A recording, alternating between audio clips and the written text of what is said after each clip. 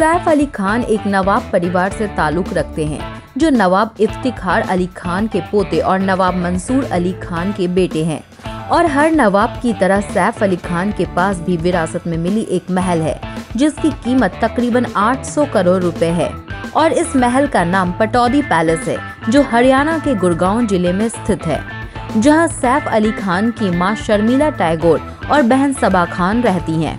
वहीं सैफ अली खान इस बार अपनी बेगम करीना कपूर खान का जन्मदिन अपने महल में ही मना रहे हैं और 21 सितंबर को करीना का जन्मदिन शाही अंदाज में मनाने का इंतज़ाम किया जा रहा है, जिसके लिए सैफ और करीना अपने बेटे तैमूर के साथ पटौदी पैलेस पहुँच भी चुके हैं, जहाँ कई फिल्मी सितारे भी आने वाले हैं।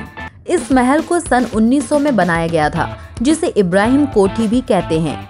वहीं सैफ ने भी अपने दादा और पिता की तरह साल 2014 में अपने इस महल को रेनोवेट कराया था और इसके इंटीरियर को एक नया रूप दिया है।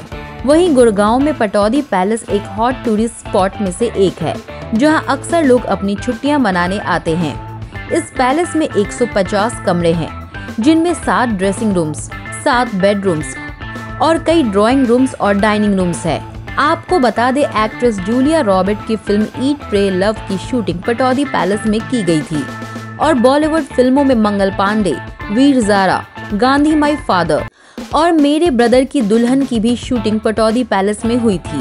इस पैलेस में बड़ी बड़ी सफ़ेद दीवारें वुडन फर्नीचर लंबी सीढ़ियाँ और नवाबों के फ़ोटो फ्रेम्स महल की खूबसूरती बढ़ाते हैं। और इस बार करीना कपूर खान का जन्मदिन मुंबई के शोरगुल से दूर हर मायने में खास बनने वाला है।